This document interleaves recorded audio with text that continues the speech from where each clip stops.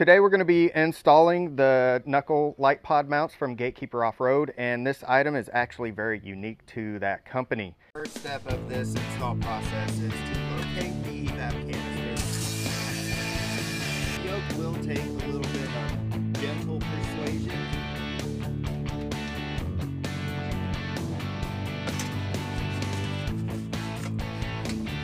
So these tabs do not want to come off.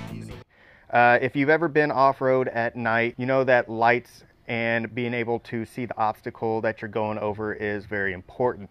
One issue is you can have rock lights, but they don't turn or move whenever you're going to an obstacle. These actually mount to the steering knuckles and will turn with your wheels over whatever obstacle that you're going on. So I'm gonna go ahead and get the Jeep on some jack stands and take the wheel off. That way we've got easier access to the knuckles and I'll show you just how easy these are to install. Okay, so these lights are gonna be very easy to install. There's gonna be two bolts that you're gonna have to take out and they are on your knuckle. Uh, one here and one that's gonna be a little bit more difficult to get to that's uh, underneath the, uh, the C of the steering knuckle. So you're gonna need a 13 millimeter 12 point socket in order to get these bolts out. And we're gonna go ahead and take those out now.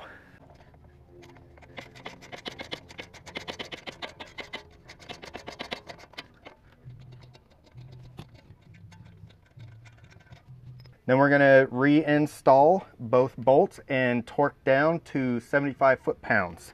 Once you get both bolts uh, reinstalled and torqued down to 75 foot-pounds, you're pretty much done with the install. The only thing left to do is install the other side, run some wire, connect it to whatever form of switch you prefer. So I'm gonna go ahead and install the other side and then I will run some wire and show you how I'm gonna do that. Now that I have the second knuckle light pod mounted and everything is torqued to spec, it's time to start running wires. Now you're gonna need at least 30 feet of red and black wire in order to uh, get everything uh, wired up and installed. So I'm gonna show you how I'm gonna uh, do all the wiring and we're gonna start in the engine bay. Since you do need to get wires down, uh, down to the knuckles, we're gonna find a spot somewhere here in the engine bay and we're gonna drop the wire down through. That way we can access it through the fender and wire up the light.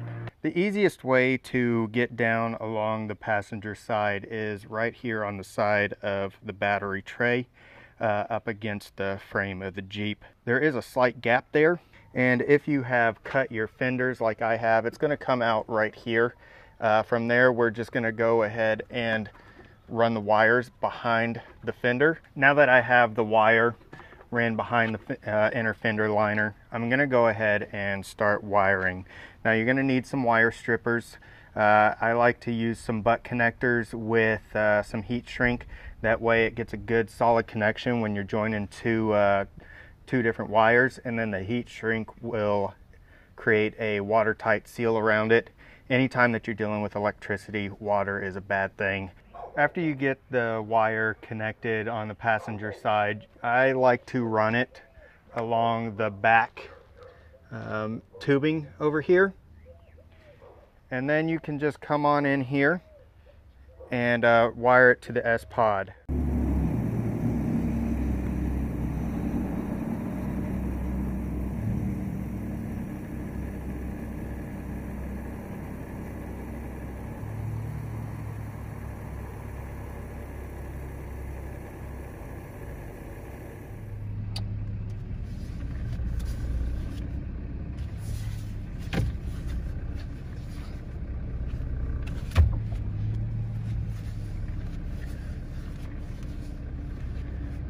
That's going to complete the install for the Gatekeeper Off-Road Knuckle Light Pod mounts.